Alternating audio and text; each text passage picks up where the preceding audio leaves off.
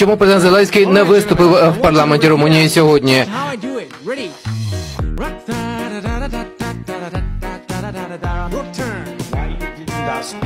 Parliament.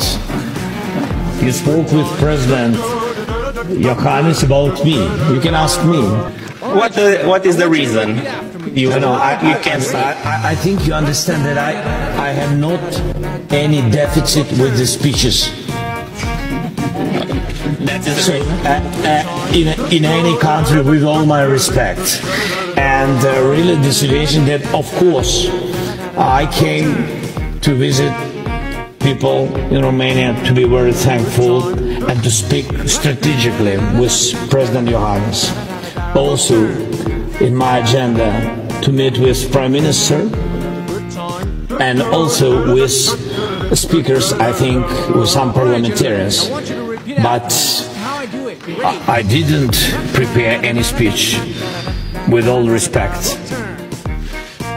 Maybe somebody against, but I'm not ready to do it. But next time, be sure, especially for your parliament, for all the journalists, for everybody, I will come, and of course, with pleasure, we'll do it.